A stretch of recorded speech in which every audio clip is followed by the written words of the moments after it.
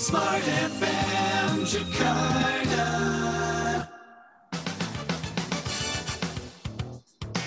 Smart FM presents Smart Emotion with Anthony Dio Martin from HR Excellency. Smart Listener, April tinggal menghitung hari dan tanggal 1 Mei selalu identik dengan Hari Buruh. Dan uh, kita tahu kalau sudah menyebut-nyebut atau kita mendengar kata buruh, maka yang ada di benak kita nih pasti demo nih gitu ya, pasti rusuh nih gitu ya. Pasti akan ada tuntutan ini itu kepada perusahaan, pihak perusahaan dan sebagainya. Jadi seolah-olah uh, buruh dan perusahaan seperti langit dan bumi, kayak nggak ketemu gitu ya. Padahal tanpa buruh perusahaan tentu tidak akan bisa maksimal bahkan tidak akan bisa mencapai tujuan dari perusahaan itu ada salah satunya adalah bisa menghasilkan. Tapi kemudian eh, kalau tidak ada perusahaan buruh juga nggak punya lahan pekerjaan. Nah kenapa sih gitu ya? Dua pihak ini yang sebenarnya begitu dekat dan saling membutuhkan seperti nadi dengan darah gitu tapi kenapa kok bisa seperti anjing dan kucing gitu ya? Main buru-buruan dan bisa seperti seolah-olah tidak dekat, tidak bersahabat. Selamat malam semua listener dan juga sahabat yang bergabung malam hari ini. Kami mengajak Anda untuk bersahabat yuk dengan perusahaan dan bersahabat dengan buruh juga. Karena saya juga buruh ya. Bukan pemilik perusahaan. Saya ada di dalam program Smart Emotion bersama dengan Tasya Rustama. Hai Tasya. Selamat malam, Ola.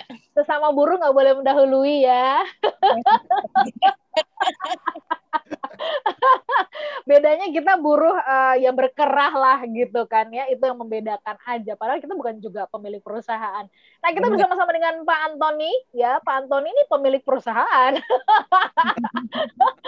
Selamat malam Pak guru ya. ya. hai hai, hai Mbak Ella dan Mbak Tasya. Selamat malam semuanya. Senang sekali pada kesempatan malam hari ini bisa berjumpa bertemu dengan Anda semua lagi dan meskipun melalui udara gitu ya. Iya. Tapi thank you Mbak Ola, thank you Mbak Tasya yang selalu setia setiap Selasa malam menemani kita. Baik. Dengan baik. antusiasmenya, dengan, dengan energinya, semangat. dengan semangatnya. Uhuy. Baik. Uhuy. Ada dua bingkisan yang kita akan berikan. Yang bingkisan wow. pertama ini nanti buat uh, smart listener yang ada di Jakarta dan sekitarnya bisa ambil ke studio. Tapi kemudian buat yang di luar nanti kita akan berikan dalam bentuk voucher. Nah, uh, kami akan uh, berikan pertanyaan dan Tasya nih yang akan memberikan pertanyaannya kepada Anda. Siap-siap ya untuk Anda menjawabnya di semua platform atau akses di mana Anda bisa uh, ngobrol bersama dengan kami. Silakan Tasya. Oke, aksesnya di mana sih Smart Listeners? Anda bisa via WhatsApp ya di 0812 11 12 959 atau di YouTube channel kami juga bisa di Radio Smart FM atau justru Anda yang menonton di Instagram live-nya Pak Antoni mau menjawab? Silahkan. Yes, betul. Ya. Pertanyaannya Smart Listeners adalah ketika Anda mendengar berita soal buruh yang demo, apa sih yang terbesit di pikiran Anda? Rasa kasihan kah? Rasa salut kah? Rasa bangga kah? Atau jengkel? Atau malah bingung? Apa sih yang terpikirkan? Mari sharing bersama kami via WhatsApp, via YouTube dan juga Instagram dari Pak Antoni. Kami tunggu Smart Listeners karena ada dua sweetener yang bisa Anda dapatkan. Oke, okay. baik makin semangat okay. dong ya. Yuk kita ngobrol yuk, Pak Antoni. Ya. Ini kan satu Mei kan boleh dibilang kan selalu berulang tiap tahun ya kayak ulang tahun loh gitu ya. Yes. Uh, nah ini kenapa kok Pak Antoni mengajak ya. kita untuk membahas topik ini apa? Karena Pak Antoni melihat juga sekarang perbincangan mengenai seputar buruh ya pekerja itu makin happening banget, makin jadi jadi perbincangan, jadi tren topik begitu. Silakan Pak Antoni. Ya, Mbak Ola dan juga uh, Tasya dan juga listener kita, yes, karena kan kalau kita bicara tentang Smart FM, kita selalu berusaha untuk memberikan inspirasi. Dan saya pikir sebagai profesional, seperti kata Mbak Ola sendiri aja, mengidentikan diri bahwa oh, saya itu buruh loh. Iya. ya. Selama yang digaji buruh gitu kan. Dalam hal ini Mbak Ola mungkin memang kita harus meluruskan satu hal kali ya, istilah ya. buruh itu. Okay. Kalau kesan dalam bahasa Indonesia itu kan bahasa Indonesia buruh itu kan kesannya buruh kasar gitu kan pekerja kasar gitu. Mungkin bagusnya diganti dengan istilah pekerja kali ya. Pekerja, Tapi sampai ya? sekarang ini belum diganti tuh Mbak Ola. Istilahnya iya. masih, harinya masih hari buruh hari sedunia. Buruh sedunia. Harusnya lebih bagus memang hari pekerja ya. Setuju, betul. Karena kan boleh dikatakan ya segala semua orang yang bekerja sebagai karyawan itulah pekerja sebenarnya ya. Harusnya bisa merayakan hari hari buruh ini. Ya, Nah, ya. balik lagi ke acara kita, kenapa kita memilih topik itu karena benar sering kali gini. em, satu memang banyak permintaan sih sebenarnya dari eh, teman-teman eh, karyawan, teman-teman yang bos gitu untuk membahas tentang topik ini. Jadi kaitannya dengan eh, isi yang tadi sudah dikatakan oleh Mbak Ola. Biasanya itu karyawan sama majikan itu seperti kucing dan anjing. Selalu ribut. Dan satu Mei itu identik dengan demo. Ya. Ya. Dan padahal nah di dalam obrolan ini maksud saya adalah kalau kita perhatikan banyak hal yang harus kita harusnya bisa dilakukan karena kan sebenarnya kalau kita perhatikan itu kan buruh sama majikan itu berada di karya berada di perahu yang sama sebenarnya ya mungkin sebenarnya sama-sama ma- maunya baik gitu tapi karena nggak ketemu nanti kita akan bicara mengenai beda persepsi dan mitos yang sering kali terjadi buruh kepada majikan majikan kepada buruh dan itu yang sering kali menyebabkan akhirnya masalah ini berlarut-larut dan nggak selesai-selesai Oke. Ya. Ya, Nah, ya. itu loh salah satu alasan dan saya merasa ini penting banget sebagai bahan inspirasi buat teman-teman rekan-rekan Anda yang karyawan, Anda yang majikan, Anda mesti mendengarkan obrolan kita pada malam hari ini. Saya Oke, sudah Pak. punya, saya sudah melakukan riset panjang gitu, saya mau sharing. Banyak ya. Oke, itu nanti yang di-sharing. Tapi gini nih, per- eh, pertanyaan eh, canda tapi dalam ya, Pak Antoni dijawab singkat aja sih gitu. Ya. Mungkin nggak sih gitu ya antara pemilik perusahaan dan pekerja itu bisa punya hubungan tuh kayak Simpson, eh, Samson dan Delilah atau Romeo and Juliet gitu loh, mesra gitu loh, Pak Antoni mungkin nggak sih? Saya saya percaya gini kok, eh, banyak kok sebenarnya. Ini malah ada yang cerita begini. Ada salah satu, yang malah berkisah begini. Dia bilang begini, karyawan kami cukup dewasa Pak Martin. Di sini nggak ada serikat meskipun ya kami nggak melarang juga. Ada yang masalah yang ngomong, kita malah bisa debat. Malah ada karyawan yang mikir nggak ada waktu lagi buat menuntut. Ya karena nggak ada yang perlu dituntut dan orang juga kalau dituntut terus orang juga nggak ada puas-puasnya. Ini salah satu yang dikatakan oleh salah satu rekan kita.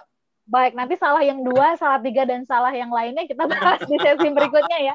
Yes. Jadi sangat mungkin kok gitu ya antara pemilik uh, usaha sama pekerjanya bisa kok kayak Romeo and Juliet ya, Samson and Delilah begitu ya. Kita bahas tapi nanti di sesi berikutnya. Smart listener tetaplah bersama dengan kami dalam Smart Emotion. Kami membahas mengenai high IQ blue collar worker atau cerdas emosi untuk kalangan pekerja. Kami jeda sesaat. Smart Emotion Kita ya. with Anthony Dio Martin.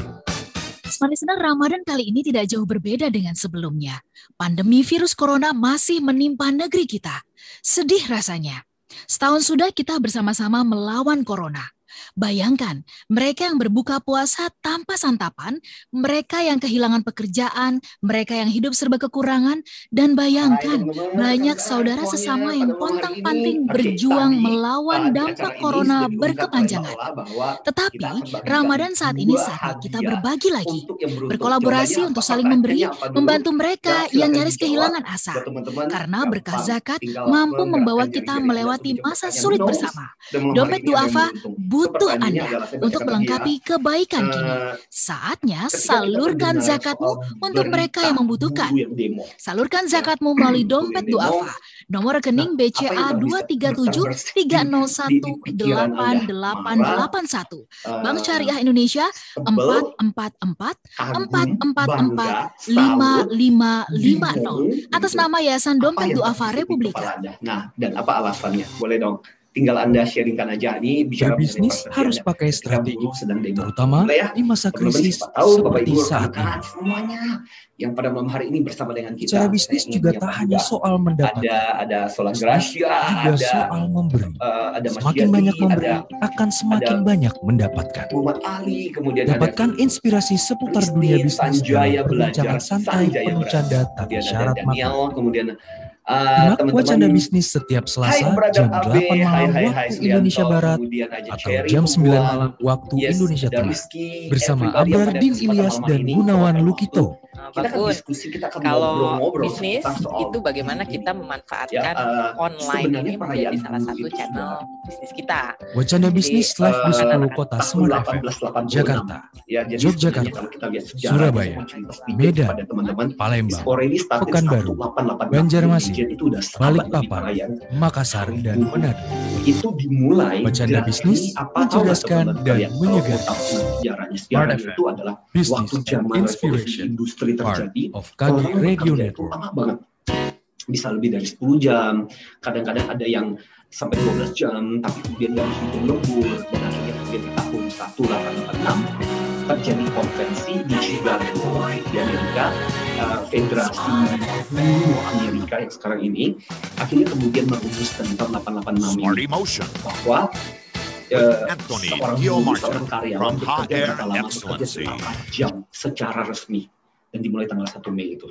Ya. Buat lagi kita akan memperingati May Day, Hari Guru Nasional ya, atau Hari Pekerja. Smart listeners, saya mengundang Anda yang ingin berkomentar ya. Kira-kira ketika May Day, ketika Hari Buruh, Hari Pekerja, apa sih Anda pikirkan ketika banyak buruh-buruh yang eh, berdemo di ibu kota misalnya saja? Apa sih yang Anda pikirkan? Apakah ada rasa kasihan di situ, ada rasa iba, atau justru salut dan bangga terhadap mereka yang turun ke jalan untuk berdemo? Atau malah jengkel karena mungkin membuat jalanan cukup macet atau mungkin Anda bingung kenapa sih ya mereka berdemo? Nah, silakan Anda bisa sharing kepada kami, kirimkan eh, sharing Anda ke WhatsApp kami di 0812 11 12 959 atau ke WhatsApp eh, ke, di YouTube channel kami, sorry, di YouTube channel kami di live YouTube channel kami Radio Smart FM atau Anda juga bisa jawab di live Instagram dari Pak Antoni. Karena Smart Listeners di hari ini ada dua buah buku yang bisa Anda dapatkan pada hari ini. Dan Smart Listeners, kami masih membahas tentang cerdas emosi untuk kalangan pekerja. Tapi apa sih ya kaitannya dengan hari buruh dengan cerdas emosi? Emang kenapa? Apakah pekerja juga harus cerdas emosi? Kita tanya bersama-sama ya kepada Pak Antoni. Pak Antoni, kira-kira apa hubungannya? Apakah benar gitu pekerja itu juga harus cerdas emosi, buruh juga harus cerdas emosi? Dan apa hubungannya dengan May Day, dengan Ya. Hari Buruh, Hari Pekerja ini? Oke, tadi saya sempat di waktu di Instagram saya sempat sedikit cerita tentang latar belakang sejarah. May Day. Banyak yang nggak tahu. Jadi sebenarnya May Day itu sudah dimulai dari tahun 1886.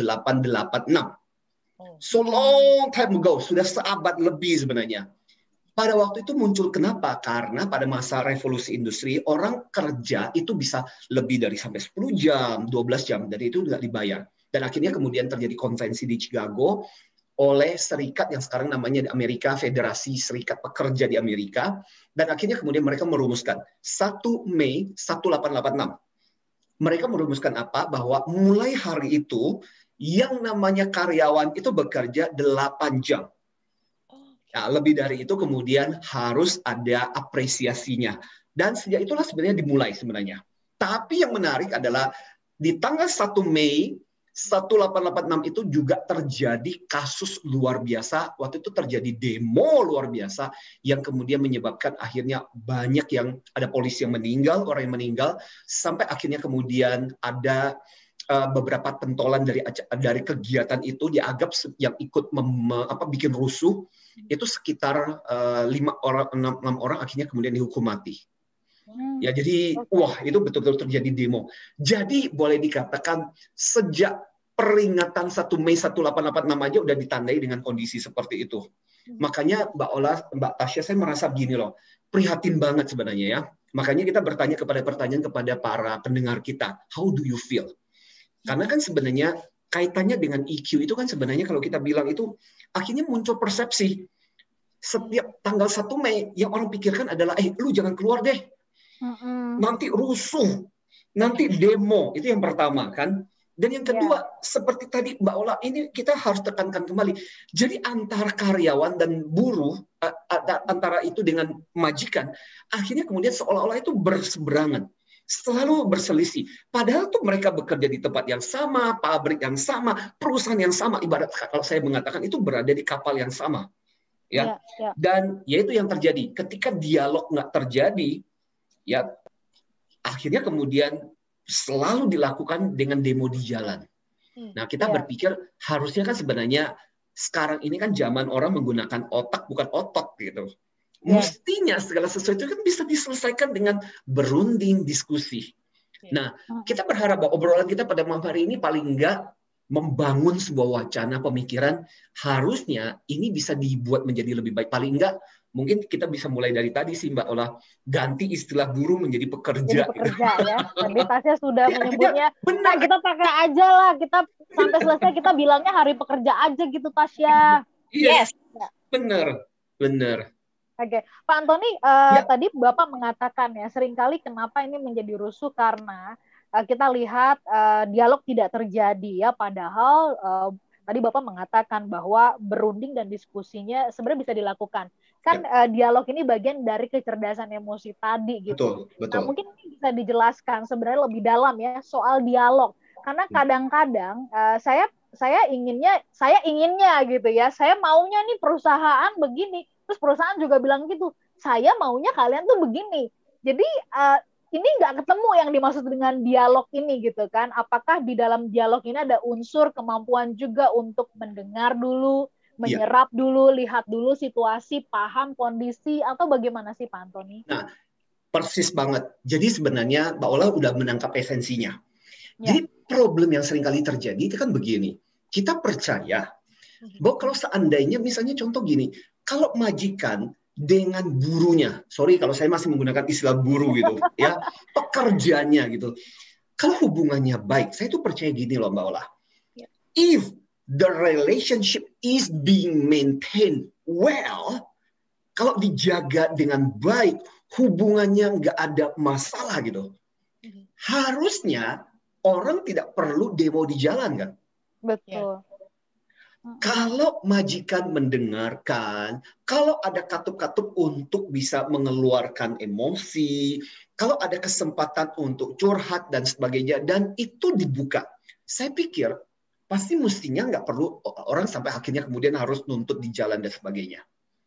Nah, menurut saya sebenarnya ini juga menjadi sebuah catatan penting untuk perusahaan dan untuk majikan sebenarnya Oke. bahwa why they demo di jalan is because kita tidak melakukan pekerjaan dengan baik. Mungkin pada saat ketika dibutuhin, ayo dong kerja kerja kerja kerja. Tapi setiap hari hubungan nggak pernah di maintain.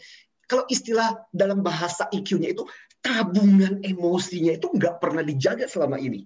Hmm. Jadi tabungan emosinya tuh kosong. Nah ketika tabungan emosi kosong, sedikit kesalahan Anda itu bisa meledak jadi masalah.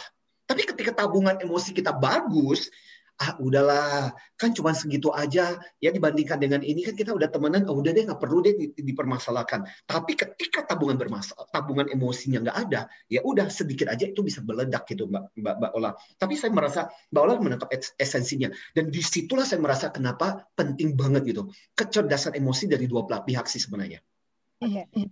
Eh, silakan Oke, ini tiba-tiba terpikir gitu, tersi, eh, terpikir di pikiran saya Pak Antoni, berarti kan harus berjalan dua arah kan, tidak ada yang salah dan tidak ada yang benar, baik itu pemimpin maupun pekerjanya gitu ya, Ya, Pak. ya. Tapi kita tahu nih kalau misalnya kita lihat gitu dari sisi pemimpin ya, eh, pemilik perusahaan, ya saya kan nggak bisa untuk memuaskan siapa pun, saya kan nggak bisa untuk memuaskan banyak orang, pekerja saya banyak dan saya nggak bisa memuaskan mereka semua, sementara pekerja juga punya eh, tuntutan yang berbeda-beda. Gimana Pak Antoni melihat hal ini? Yes. Nah, Mbak, Mbak Tasya itu persis yang menjadi bahan obrolan kita malam hari ini. Jadi gini, begitu lama pengalaman saya ngurusin karyawan dan sebagainya, akhirnya kemudian ujung-ujungnya eh, saya dulu itu kan posisi di HRD. HRD itu kan posisi paling menderita, hari-hari dirundung derita, HRD gitu. Karena Iya, posisi iya, iya. di tengah-tengah kan, Iya, betul. dari atas kan bilang, lu sana tuh ngurus tuh mereka tuh tin, kenapa sih protes-protes dan sebagainya? Oke siap gitu. Terus dari bawah, ayo dong, Echa ngomong sama yang di atas, kenapa sih kayak begitu nggak aja nggak mau diperhatikan? Kenapa gitu aja pelit banget sih? Jadi kita bingung gitu dalam posisi di tengah-tengah. Tapi saya merasa obrolan kita pada malam hari ini sebenarnya mengingatkan kita akar masalahnya ada di mana. Akar dari problem ini muncul dari mitos persepsi di antara pihak buruh dengan pihak majikan. Jadi kalau kita perhatikan gini, mitos tentang buruh itu apa oleh majikan? Satu, buruh itu nggak pernah punya otak. Ya, Hmm. kerjanya cuma itu-itu aja.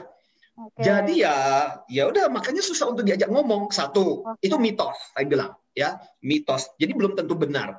Tapi sering kali banyak majikan yang punya berpikir seperti itu. Dan menurut saya itu salah besar dan itu salah satu yang penyebab kenapa akhirnya buruh jadi kesel gitu. Yang kedua, buruh itu stoknya banyak kok. Lu protes, lu mau protes, ya udah lu pergi aja dari sini, lu pergi dari sini, saya masih punya banyak kok buruh yang mau bekerja di sini. Itu yang kedua. Yang ketiga, ya ah yang namanya buruh itu nilai tambahnya dikit. Yang nilai tambahnya banyak tuh manajer, direktur. Jadi aduh nggak usah diperhatikan deh. Jadi dianggap nggak bernilai.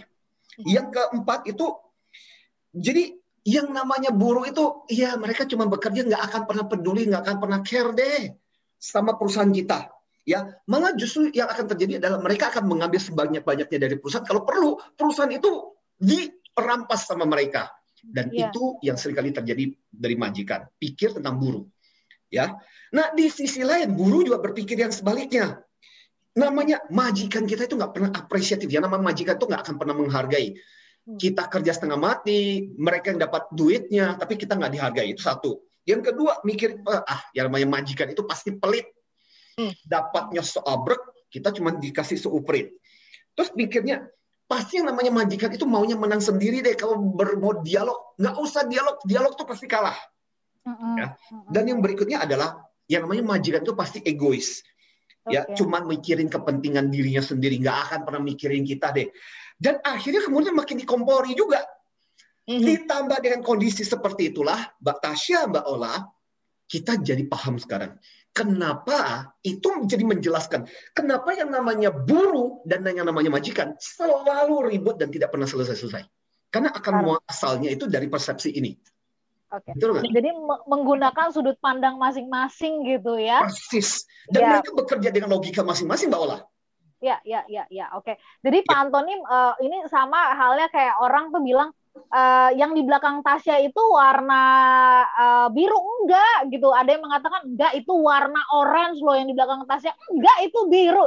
Ya nggak ketemu ya Persis. antara persis biru sama sama orange karena masing-masing menggunakan persepsi atau sudut pandang masing-masing. Nah, gimana sih menyatukannya atau mungkin nggak ini eh, dibuat jembatan gitu loh. Kalaupun oke berbeda tapi tetap ada jembatannya gitu kan eh, Pak Antoni. Kita Iya. bahas nanti di sesi berikutnya ya, Listener dan juga sahabat. Yes. Beri Kami jeda sesaat. semangat semangatnya kita- soalnya Ya, kita kasih kesempatan kepada Anda untuk meresapi dulu yang tadi dijelaskan oleh Pak Antoni itu benar nggak sih gitu ya. Iya. Dan am- Anda juga bisa berbagi pengalaman. Perasaan apa yang Anda rasakan kalau udah jatuh di tanggal 1 Mei gitu ya. Kesel, bangga, gondok, akhirnya memutuskan nggak berangkat kerja atau bagaimana ya. Kita Yes. tunggu karena ada dua giveaway kami berikan untuk Anda. Kami jeda sesaat, tetaplah bersama dengan kami. yes Party Motion Sekali lagi ya. with Anthony Dio Martin.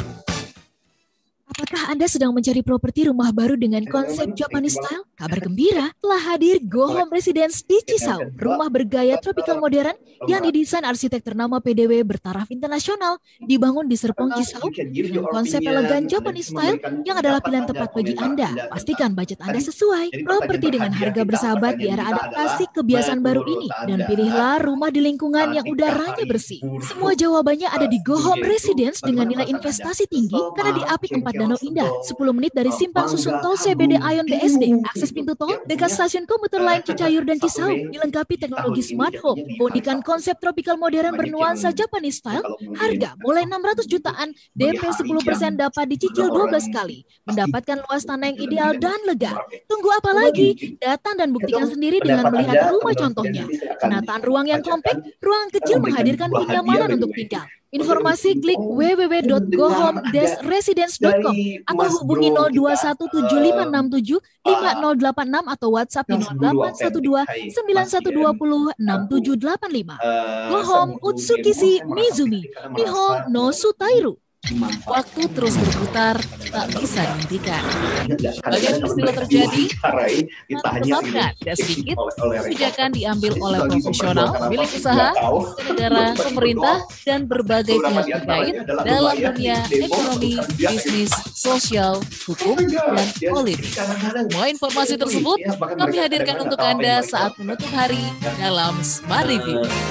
kita berharap menjaga protokol kesehatan. Uh, Kuncinya di situ. Arah pemikiran Smart FM terhadap situasi sosial terkini juga kami siapkan untuk Anda dan dapat Anda simak dalam Smart Review setiap hari Senin hingga Jumat jam 10 sampai dengan 12 malam. Smart Torial. Sejak Bagabluk Corona, kita telah dihadapkan pada Smart Review Nah, waktu tepat untuk melihat kembali catatan berbagai peristiwa, keputusan, kebijakan dalam idea, ekonomi, bisnis, majikan. sosial, hukum, dan politik di tanah air. Smart Review. Smart FM. The jadi of Indonesia. Urusan yang nggak pernah selesai-selesai. Hai untuk uh, Yuk kita akan masuk lagi teman-teman masuk ke segmen berikutnya. Ya, stay tune jawab pertanyaan kita kita akan beruntung. Yuk. Smart Emotion. With Anthony Dio Martin from HR Excellency. Terima kasih Smart Listeners, Anda masih bersama kami dalam program Smart Emotion yang di malam hari ini kami membahas tentang cerdas emosi untuk kalangan pekerja, how to be high EQ blue collar wo- worker. Kami ingin menyapa Anda, Smart Listeners, selamat malam untuk Anda yang berada di Jabodetabek dan untuk Anda yang berada di Surabaya, Yogyakarta, selamat malam untuk Anda semua. Dan untuk Anda yang berada di Medan, Palembang, Pekanbaru, Makassar, Manado, Banjarmasin, dan Balikpapan. Selamat malam untuk Anda semua. Kami mengundang Anda untuk menjawab pertanyaan di malam hari ini. Jika Anda mendengar berita soal buruh yang mungkin sedang berdemo, ini nanti ya di tanggal 1 Mei ketika May Day atau Hari Buruh, Hari Pekerja, apa sih yang terlintas di pikiran Anda? Apa yang terbesit di pikiran Anda? Apakah Anda bingung atau justru eh, bangga, salut kah atau merasa aduh ribet banget sih pakai demo-demo atau jengkel atau gimana? Silakan Anda bisa sharing bersama kami dengan kirimkan jawaban Anda ke WhatsApp kami di 0812 11 12 959 atau di YouTube channel kami di Radio Smart FM dan Instagram live-nya Pak Antoni. Karena ada sweetener yang bisa Anda dapatkan sebanyak dua buah Smart Listener. Jadi silahkan eh, tik ya, kemudian kirimkan kepada kami nanti akan dibacakan di sesi yang terakhir.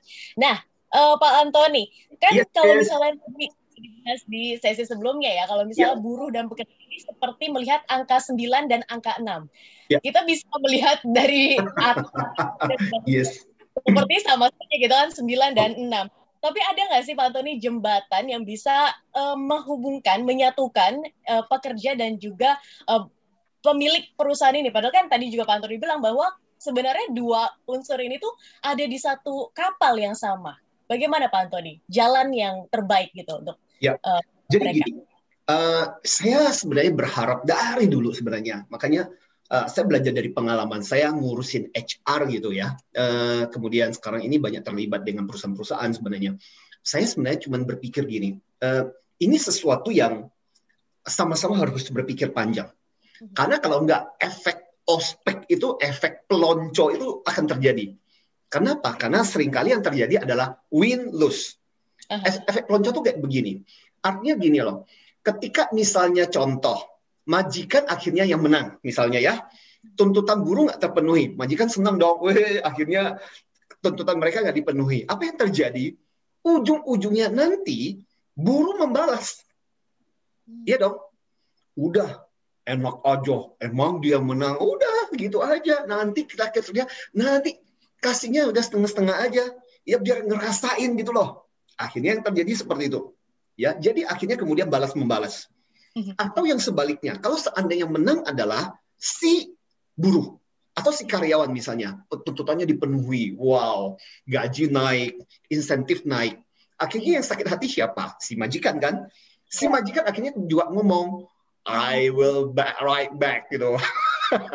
akhirnya ujung-ujungnya ya udah mau naik pak naik mau naik ini naik gaji naik ini dan sebagainya ya udah kalau gitu caranya ya udah kita pindahin aja pabrik ke tempat lain ya udah kita pindahin aja lokasi ke tempat lain dan sebagainya akhirnya kemudian yang terjadi adalah proses balas membalas gitu ya ini sampai ada kok yang yang tadi saya makanya salah satu alasan itu kan karena sering kali yang membuat kenapa kita memilih topik ini juga adalah karena catatan-catatan yang kadang muncul saya simpan kemudian saya saya merasa ini bagus banget dikeluarin gitu sebagai catatan buat kita. Ini misalnya Ini sebenarnya udah lama sebenarnya.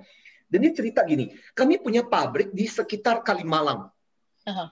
Ya, tapi kadang terjadi buruh demo karena diprovokasi. Nah, pernah sampai lama banget dan produksi kemudian terhambat. Oke.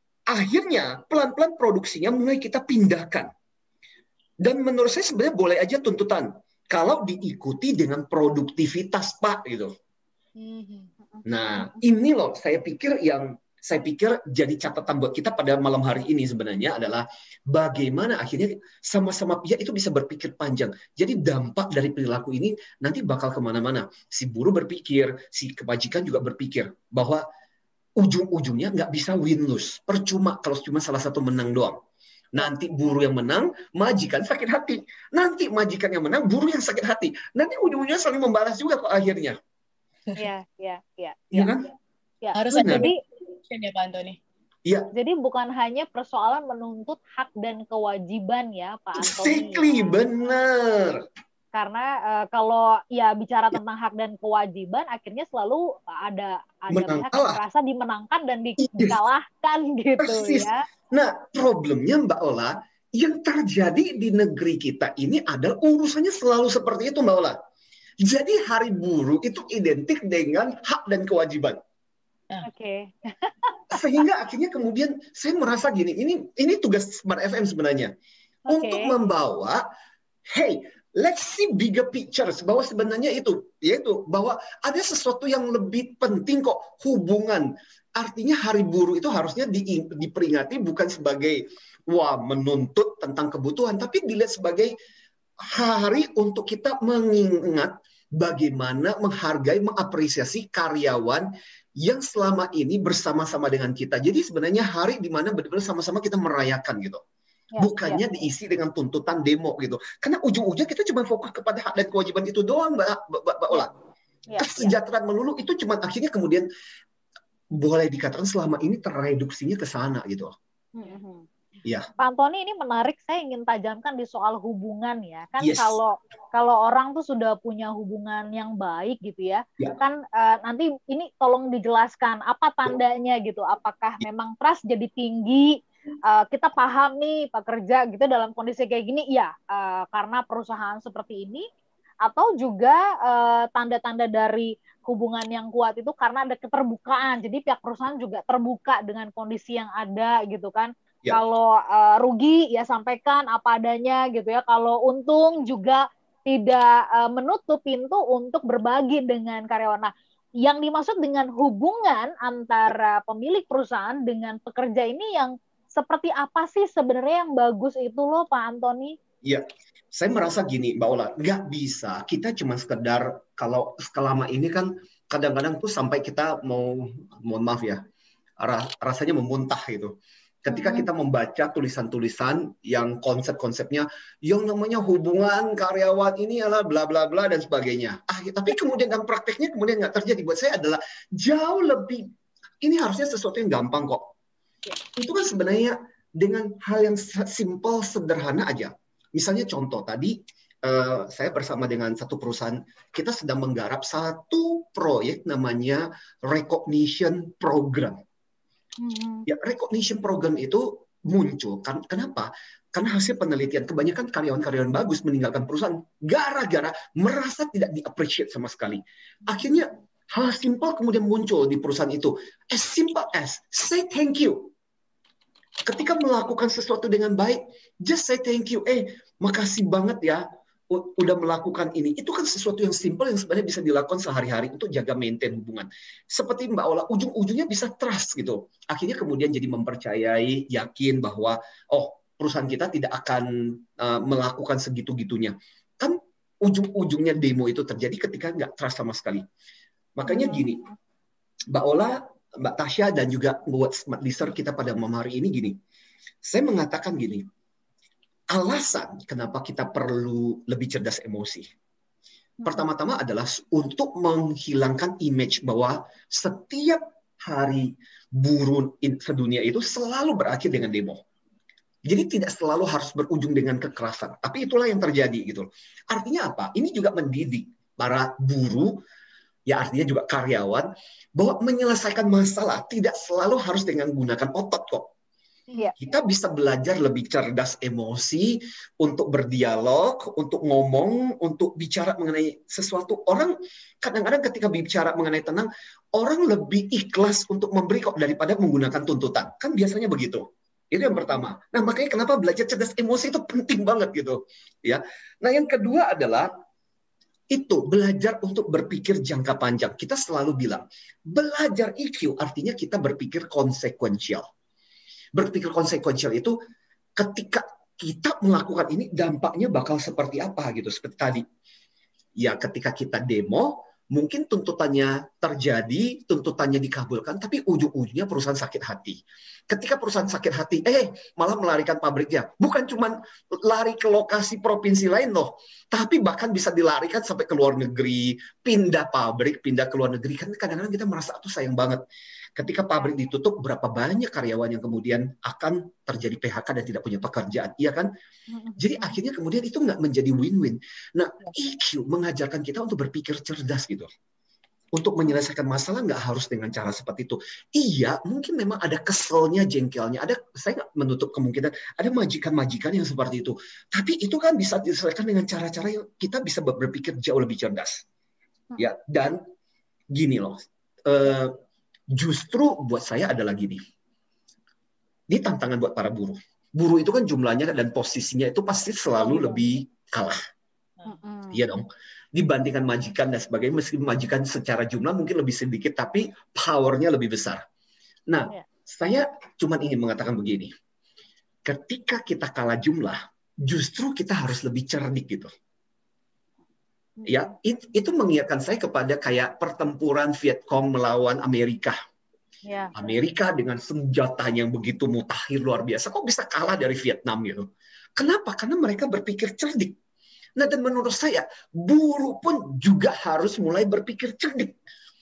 Ketika tuntutan nggak harus dengan turun di jalan, tapi kemudian gimana caranya uh, cara-cara yang lebih smart, cara-cara yang lebih bagus ibarat kalau bahasa di dalam IQ itu bermain cantik, Mbak Ola. Oke. Okay. Baik. Pak Antoni, bermain yes. cantiknya disimpan dulu seperti apa? Karena uh, kalau sudah ada yang ngomporin, bahkan bukan hanya kompor tapi microwave dikeluarin semua, kan kita uh, cenderung jadi tersulutnya tuh cepet banget ya, Pak Antoni. Apalagi katanya dengar-dengar gitu ya hoax bersebaran dan sebagainya ini biasanya akan jadi jadi bermental masa kan. Kita bahas nanti di sesi berikutnya smart listener. Tetaplah bersama dengan perbincangan kami ada dua giveaway yang kami siapkan untuk Anda dan ya, masih kita akan bacakan Mbak Ola ya. Iya, tanggapan-tanggapannya. Tanggapan yang muncul. Yes. yes. Tetap bersama dengan kami dan kami kembali untuk sesi yang terakhir. Party Motion with Anthony Dio Martin. Muka cemberut aja. Baru gajian kan? Iya, baru gajian. Tapi sudah langsung habis. Loh, kenapa? Saya mau melanjutkan. kamu belanja apa lagi? Kok. Cuma uangnya terpakai untuk bayar hutang kartu kredit dua bulan lalu aku jalan-jalan terus beli tas coklat yang harganya selangit itu. Um, nah, kalau udah kayak gini, yang rugi kamu juga kan? Untung tak dapat diraih, malam tak dapat dihindari jika tidak punya perencanaan keuangan. Dengan perencanaan keuangan masa depan disiapkan dengan lebih baik. Uh, saya malah bertanya, kalau bisa cash kenapa harus dicicil? Gitu. Simak selalu Smart Financial Wisdom bersama Eko Pratomo dan Muhammad Teguh setiap Rabu mulai jam 7 pagi waktu Indonesia Barat disiarkan di 10 kota Smart FM dan jaringan radio Sonora di seluruh Indonesia. Mencari uang harus disertai kecerdasan mengelola keuangan. Smart Financial Wisdom, Smart Way to Happiness. Smart FM, Business and Inspiration. Uh, thank you banget yang pada Tahukah Anda, hari. tidak ada yang kebetulan uh, di dunia. Meski kita belum tahu alasannya, semua hal terjadi karena alasan. Uh, Mari bersama kami uh, melihat segala peristiwa dan kejadian dengan sudut pandang berbeda di negeri sketsa. Aku korupsi, Bapak pasti akan mendapat bagiannya tuh. Bincang menarik tokoh-tokoh negeri sketsa. Hati-hati. Bukan heboh, uh, Pak. Jadi lama-lama jadi nggak cerdas. Ini malah sudah Risma, kalau saya merasa Sketsa mendorong kita menjadi lebih dan bijaksana kurang, ada segala yang rasa terjadi. Loh, Akhirnya kalau tak kebagian, ya, merasa sangat posisi. Pastikan Anda menyimak sketsa Ya. setiap hari Hai. Senin hingga Jumat Hai di hai dalam hai program Smart Morning Post ada jam 6 Omis, pagi hai waktu. Indonesia Barat Ya dan di jam-jam terbaik Smart FM. Ya. And Mau bilang hai bro Stantio dan AB, hai teman-teman semua. Ya, senang sekali pada malam hari ini. Eh, Nggak kerasa dari setelah segmen yang keempat, segmen bicara mengenai tips. Ya teman-teman, thank you banget untuk beberapa yang sudah berkomentar. Ya, Smart Emotion. pada malam hari ini. with Anthony Dio Martin from Ha Air Excellency. Smart listeners, Anda masih bersama kami dalam program Smart Emotion dan terima kasih untuk Anda yang sudah menjawab ya tadi pertanyaan dari saya. Untuk Anda yang mungkin belum dijawab, silahkan masih kami tunggu. Kira-kira ketika Anda mendengar berita tentang Hari Buruh dan juga berita soal buruh-buruh yang demo di Hari Buruh itu kira-kira apa sih yang terpikir di pikiran Anda? Apakah cemas kah atau eh, kesel kah, jengkel kah, atau malah salut kah, bangga kah? Wah, maju terus buruh atau bagaimana? Silakan Anda bisa sharing bersama kami ya. Masih ditunggu di WhatsApp kami di 0812 11 12 959. Oke, sebelum uh, Tasya dan Pak Antoni membacakan yang sudah masuk, mungkin tadi boleh dijelaskan penjelasannya Pak Antoni ya, uh, bagaimana sih yang cerdik tadi itu loh, kalau kita ingin menyampaikan atau punya keinginan bermain cantik itu kayak apa? Ini apa ala-ala Ronaldo gitu, Pak Antoni atau gimana? Baik, ini aja deh. Mungkin paling bagus adalah saya mau cerita aja kisah contoh. Ini ini yang namanya bermain cantik itu gini. Ketika ada situasi sulit, ketika ada situasi bermasalah, nah orang dengan EQ mencoba berusaha untuk mendekati tidak selalu harus menggunakan kekerasan. Jadi ini kejadian terjadi waktu eh, itu di bandara sebenarnya waktu itu di Sumatera di, di apa di Medan. Dan waktu itu belum belum yang airport yang baru gitu. Masih airport lama. Dan waktu itu penerbangan bermasalah. Wah dan orang ngamuk marah. Dan akhirnya kemudian itu sampai naik naik naik ke ke meja meja itu ya meja counter untuk itu untuk untuk apa untuk untuk cek ini loh dan akhirnya kemudian saya berpikir aduh kasihan banget. Akhirnya kemudian saya sendiri butuh ya. Dan sebenarnya mereka sedang mereka punya hak kan dan mereka bisa melakukan juga untuk siapa untuk penerbangan berikutnya dan sebagainya. Mereka bisa assign gitu. Dan akhirnya yang saya lakukan adalah saya pikir ah, sudahlah. Kalau ini dilakukan dengan kepala panas juga semua udah pada panas ini bakal ribet banget. Dan akhirnya kemudian saya lakukan adalah mendekati salah satu yang di bagian uh, customer service itu kemudian saya ngobrol-ngobrol dengan dia. Dan saya lihat itu kasihan banget gitu. Sampai berkeringat gitu sampai batuk-batuk dan sebagainya. Akhirnya kemudian saya kan punya akses ke lounge gitu kan dan dekat waktu itu posisinya. Dan akhirnya kemudian saya ambil segelas gitu. Saya ambil segelas air putih dan saya taruh mbak minum aja deh mbak Uh, sambil kemudian aku ngajak dia ngobrol-ngobrol-ngobrol dan kemudian aduh pak makasih ya pak Ioni dan sebagainya dan akhirnya kemudian saya cuma bilang mbak boleh ya dibantu ya mbak. Kalau seandainya ada penerbangan berikutnya dan saya bisa dimasukkan tolong dong saya dibantu. Guess what? Ya itu yang saya sebut dengan diplomasi segelas air putih gitu. Okay. Dengan segelas air putih itu, saya termasuk dalam barisan penumpang yang kemudian pertama kali ketika ada seat kosong dan saya termasuk yang dipulangkan hmm, lebih awal. Hmm. Artinya gini loh, saya di situ belajar dan belajar gitu. Saya tidak mengatakan bahwa saya cerdas emosi, saya cuma mengatakan bahwa kadang dengan cara seperti itu kita bisa menyelesaikan lebih banyak masalah daripada menggunakan kekerasan.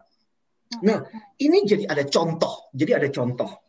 Mbak Ola dan Mbak Tasya mungkin sebelum kita membacakan ya. Jadi ada dua karyawan. Karyawan punya masalah dengan seorang bos yang suka mengambil hasil kerjaan anak buah.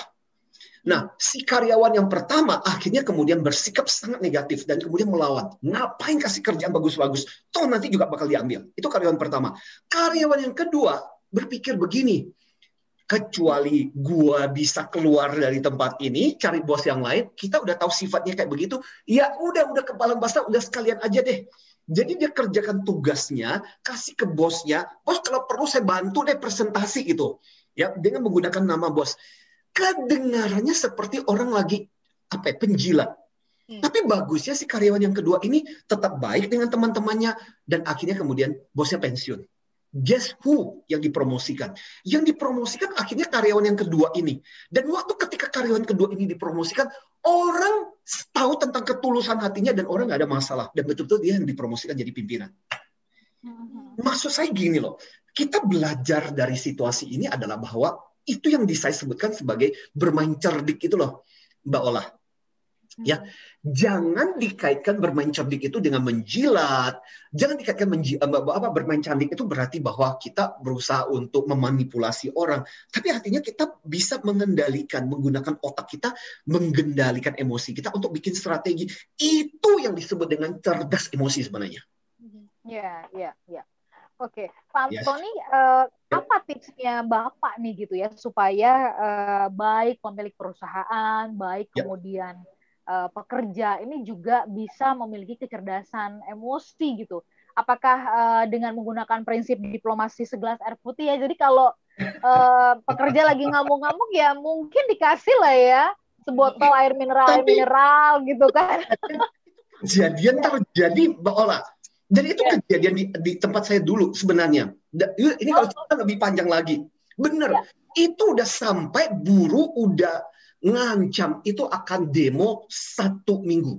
Kenapa? Karena waktu itu ya memang lagi krisis dan kemudian akhirnya kita harus kemudian memberhentikan karyawan kontrak. Oh, mereka nggak terima. Dan akhirnya kemudian mereka ngancam akan seminggu. Wah, bingung unit usaha. Untung kemudian akhirnya kita dipanggil. Kita kan di induk perusahaan yang dipanggil adalah psikolog. Tapi sebelum datang itu kita dilatih. Nah, saya bersyukur waktu itu punya kakak-kakak psikolog yang bagus. Kita di trade bagaimana menghadapi. Nah, salah satunya adalah yaitu diplomasi air putih. Ya, satu dikenyangkan dulu. Karena ketika perut kenyang orang ngomong lebih tenang gitu. Iya, iya. Saya iya. juga gitu, Pak Antoni. Kalau lagi meeting, saya kasih makan dulu. iya. Dan yang kedua, dulu, gitu ya. Yang kedua adalah biarkan ketika orang lagi marah, biarkan orang untuk keluarkan semua unek-uneknya. Sampahnya dikeluarkan dulu. Nah, baru orang bisa diajak ngobrol. Karena kadang-kadang orang butuh didengarkan dulu gitu. Dan di situ saya belajar yang luar biasa, Mbak Olah. Tentang bagaimana menanggapi hal-hal seperti itu, Mbak Olah. Baik. Tips sederhana. Baik, yes. Pak Tony tadi bicara soal sampah-sampah tadi ya. Uh, bagaimana kita bisa, artinya nih dengan proporsinya gitu. Karena ada juga ya di satu sisi pihak tertentu yang menuntut lebih baik pemilik perusahaan atau juga pekerja. Ada karena pekerja yang sebenarnya kurang terampil begitu yeah. sehingga kemudian uh, dia menuntut lebih. Atau juga dari pemilik perusahaan yang kurang puas kemudian dia juga uh, memendam gitu. Kayaknya ngelihatnya yang salah terus gitu loh dari dari pekerja gitu. Ya. Jadi um, menempatkan secara proporsional tuh gimana sih ketika sampah-sampah tadi dari kedua belah pihak ini dikeluarkan, Pak Antoni? Ya, mungkin Mbak Ula ini membawa kita kepada tips kita kali ya, gimana caranya mengelola kayak sampah-sampah itu supaya ya akhirnya gini loh, sama-sama punya sampah, sama-sama punya beban gitu majikan itu kan berpikir gimana caranya ini perusahaan bisa survive? Karena apa? Melibatkan begitu banyak nasib begitu banyak orang. Sementara buruh berpikir gimana? Kan di rumah saya juga punya keluarga yang harus dikasih makan. Gimana caranya? Nah tips of the day malam hari ini adalah kata buruh ya. B U R U H. Itu tips kita pada malam hari ini. Dimulai dengan huruf B. B itu apa? Beri kontribusi dulu jadi hmm. daripada demo dan sebagainya, udah start with your contribution. Apa sih sebenarnya yang kita bisa kontribusikan?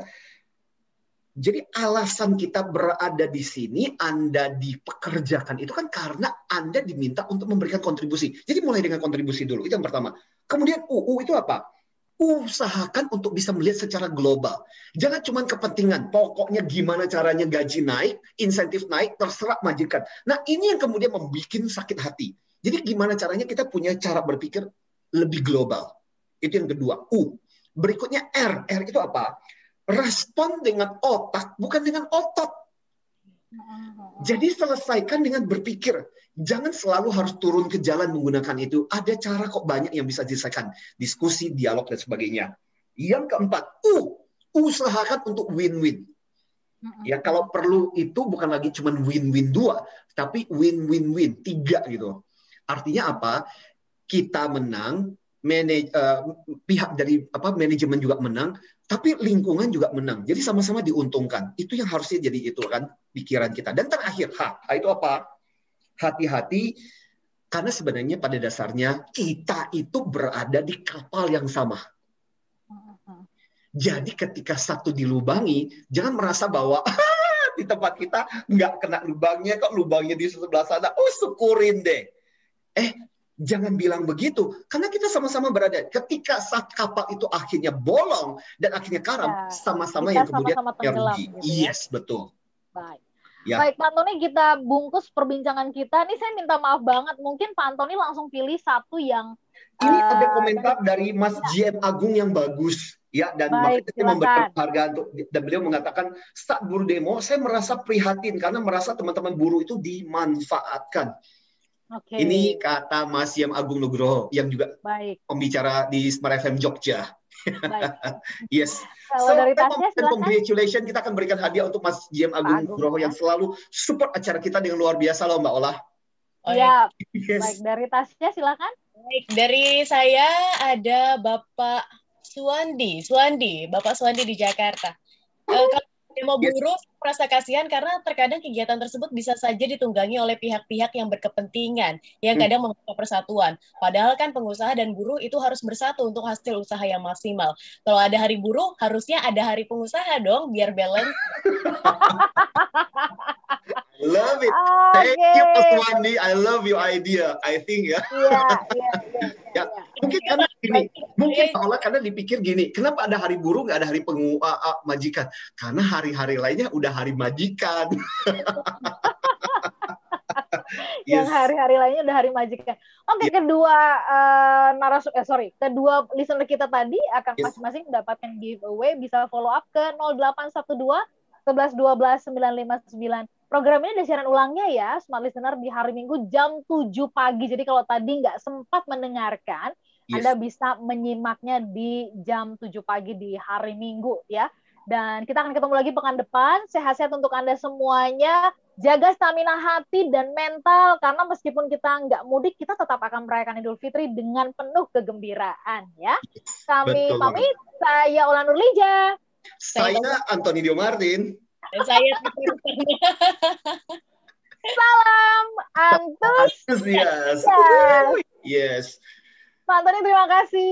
Thank you Mbak Ola, thank you Mbak Tasya. Uh, you amazing always. Ya. Energinya selalu semangat. Makasih